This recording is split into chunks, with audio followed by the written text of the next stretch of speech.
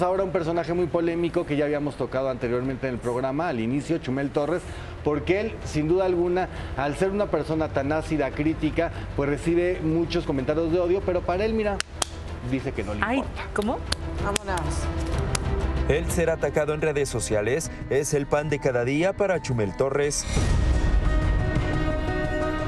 Es que el conductor ya tiene claro que al ser una figura pública cualquier comentario es motivo de ser criticado. Sin embargo, hoy comparte cuál es su método para que esta situación no llegue a afectar su estado de ánimo. Cierras la compu y sacan los haters, güey. O sea, la verdad es eso. O sea, tú apagas el celular y ya no hay. Entonces, eh, también las cosas toman de quién vienen, ¿no? O sea, si te está, si, te está regañando Denise Dresser, pues si le bajas. Si te regaña Dark Angel 666, pues tú, ¿no? O sea, te, te- te- te están diciendo con H, partamos desde ahí. Para Chumel Torres, la educación, el cariño y el autoestima que le formó su mamá ha sido la pieza clave que le ha dado la fuerza para que ninguna crítica lo afecte.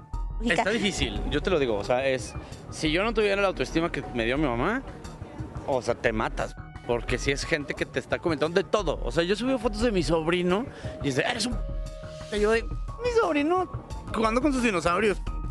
Hay mucho odio por ahí, pero la neta es que al menos yo creo que yo sí aguanto. Ya estás acostumbrado, ¿no, ¿A Chumel? qué? ¿Al ataque? No, bonito, ya, es cada mes, güey, sí. Ajá, ya, ya, ya, veo, ya veo un trending topic mi video, ah, ya es día 15. O sea, sí, sí, sí. O sea, el año pasado fueron por lo menos dos por semana, güey. O sea, fue un montón. Pero también dijo que con el paso del tiempo ha aprendido a utilizar las redes sociales con responsabilidad, después de verse involucrado sobre todo en temas legales, como lo fue en su momento la demanda que le puso Gloria Trevi. Sí, ya, Ándale. a- a- aquí sí le tengo que dar la razón a Chumel, a Chumel Torres, porque todo depende de quién venga, ¿no? Hay ocasiones que hay odiadores profesionales que tienen un huevo de fotografía de, Ah. de perfil. Ah, también. Ay, sí. Un huevo de fotografía, un huevo de fotografía. tienen de muchos para y decirte ponen cosas. huevo con B grande.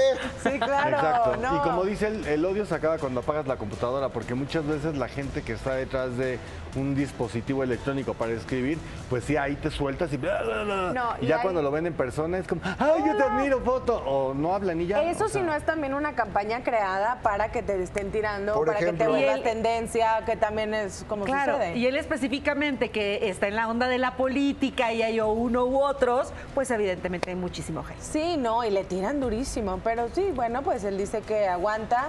Y también cuando luego les contestan no les gusta. A algunos que no son Acá, sí, campaña, a ver, ¿verdad? quien se va a meter a insultar, o sea, eres un hijo de la no sé qué, cuando uno le responde que tú también eres una hija de la no sé, o hijo de la no sé qué, aguántense, porque entonces sí, este cuate aparte ofende a su público después de 25 mentadas, pues eh, se Ay, no, merecen sí. una, ¿no? Sí se pone rudo. Mira, ya me